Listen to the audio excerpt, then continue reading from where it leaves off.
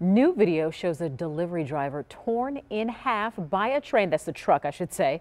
The front half left sit sitting right there at a Jefferson County Railroad crossing. Amazing. Amazing. The driver was not seriously hurt. That crash happened this afternoon. It was the town of Ixonia, An Amazon truck versus an Amtrak train.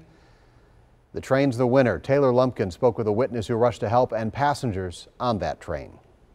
Emergency crews are now working to find out exactly what happened after an Amtrak train collided with an Amazon van here in Ixonia, leaving one driver lucky to be alive.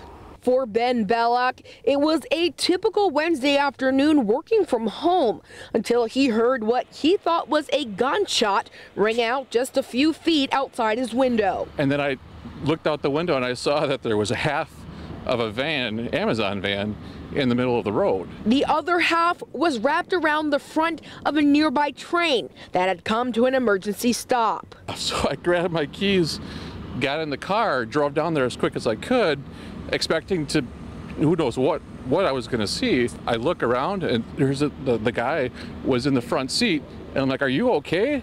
And he was like, yeah. the driver of the van was taken to a local hospital as precaution.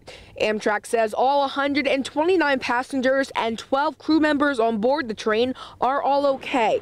Pam Avery and her daughter Tara were on their first train ride ever on their way to Milwaukee to visit family. We were going along really well and all of a sudden we felt a bump and then another little bump and then we heard the brakes go on. When stuff was happening, they let us know, um, so I didn't feel like we were in the dark.